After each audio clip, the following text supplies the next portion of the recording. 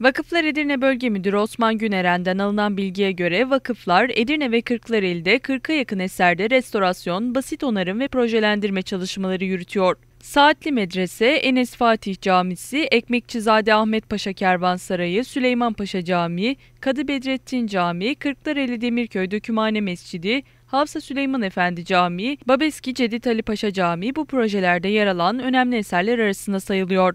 Vakıflar Genel Müdürlüğü'nce 2016 yılının yaz aylarında başlatılan restorasyon çalışmasında da sona yaklaşıldı.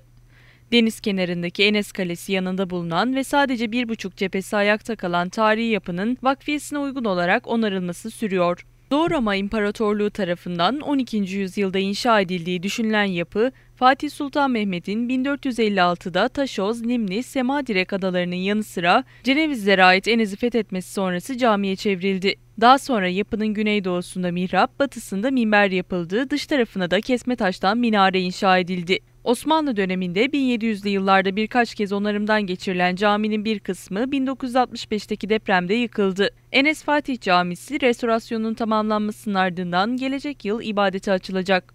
Çizimlerini Fatih Sultan Mehmet'in yaptığı Demirköy Fatih Dökümhanesi'ndeki çalışanların ibadeti için 1400'lü yıllarda inşa edilen Yıkık Dökümhane Camisi de ayağa kaldırılan önemli eserler arasında yer alıyor. Ayşe Kadınhanı olarak da bilinen Ekmekçizade Ahmet Paşa tarafından 1609 yılında Sedefkar Mehmet Ağa ile Edirneli Mimar Hacı Şaban Ağa yaptırılıp Sultan 1. Ahmet'e hediye edilen dönemin önemli ticaret alanlarından Ekmekçizade Ahmet Paşa Kervansarayı da gelecek yıl içerisinde restoresi tamamlanacak.